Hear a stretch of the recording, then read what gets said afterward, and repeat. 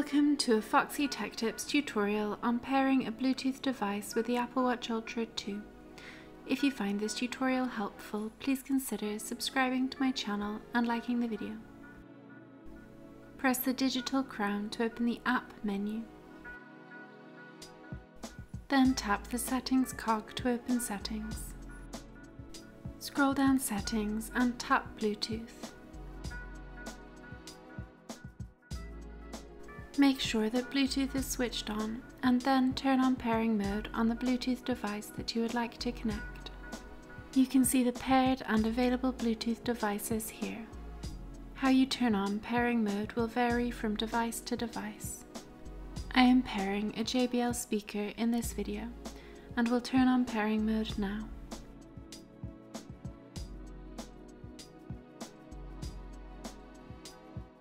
Now wait for the device to appear in the list. It may take a moment.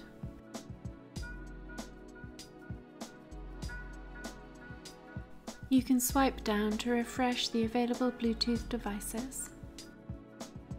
Now tap on the name of the device that you want to pair. It should pair right away. You can tap on the eye icon to the right of the device name to see info for the device. If you tap device type, you can choose the correct device.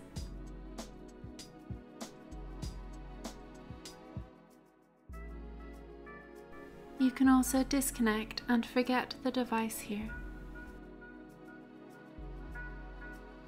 And that draws an end to this tutorial. Please like the video if you found it helpful and subscribe to Foxy Tech Tips for more Apple Watch Ultra tips and tricks.